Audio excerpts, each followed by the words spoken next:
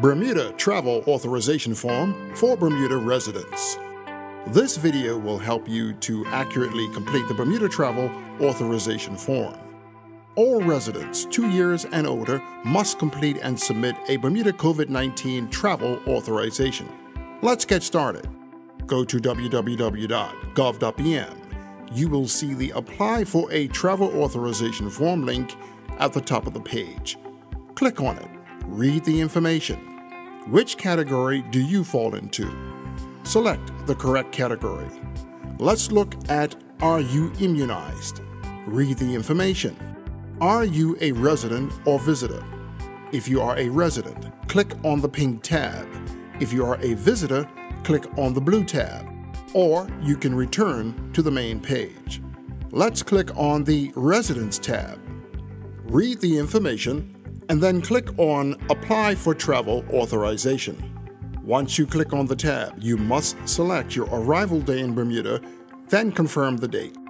Carefully review all the information that you must provide.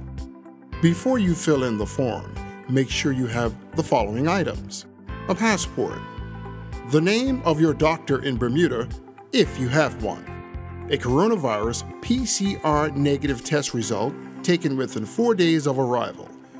It is important to note that the test must be a PCR test. It cannot be an antigen test. The test should have PCR written on it a vaccination certificate, a credit card. If you are unimmunized, instead of your vaccination certificate, you must upload the approved exemption document for in home quarantine or a payment receipt for a government approved quarantine hotel. Take your time and fill the form in completely. Ensure your information is accurate, then upload all required documents. Double check to make sure your email address is correct. Be sure to upload your vaccination certificate. If you do not receive a response, check your spam. It might be in there. Thank you for completing the Bermuda Travel Authorization Form. This is a message from the Government of Bermuda.